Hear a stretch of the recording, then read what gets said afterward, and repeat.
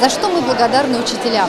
Они научили нас жизненному опыту, поделились знаниями, могли побороть страхи и стать увереннее.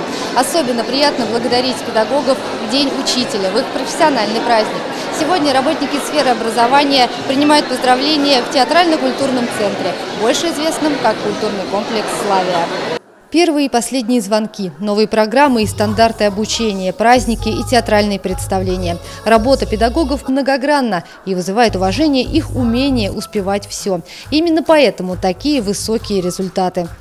Я всегда считала и считаю, что наша система образования одна из лучших Московской области. И мои слова, они объективно подтверждены, потому что наша Щелковская гимназия который раз вошла э, в топ-500 лучших школ Российской Федерации. И наши школы, они выдают замечательный результат. У нас достаточно большое количество 100 бальников, у нас стабильное количество медалистов, то есть детей, которые оканчивают школу достаточно хорошо. И хочется в этот праздник, конечно, поздравить моих коллег. Позвольте мне еще раз выразить слова признательности и благодарности за ваш труд, за вашу преданность профессии и искренне пожелать как можно больше благодарных учеников – Конечно же, счастья, благополучия вам и вашим семьям, потому что именно благодаря вам у нас столько ученых, столько поэтов, столько просто профессиональных людей, которые делают историю нашей страны.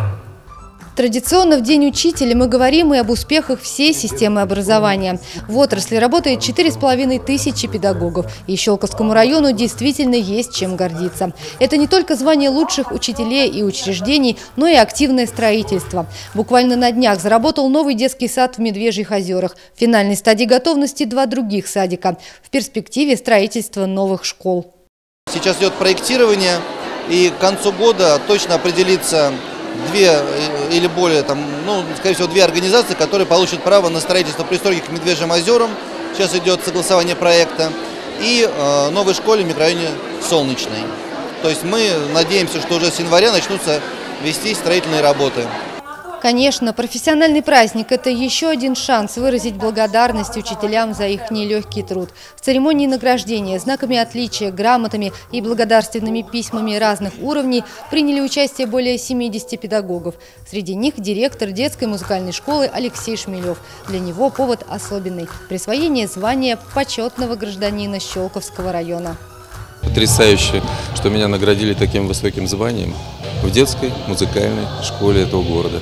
В ней я уже работаю директором 34 года. Вот. Вся моя жизнь связана с ней.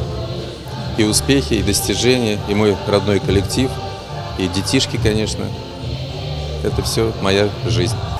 В завершении вечера праздничное настроение педагогам создавал ансамбль русской песни «Распевы». Наталья Медведева, Игорь Поляков, телерадиокомпания «Щелково».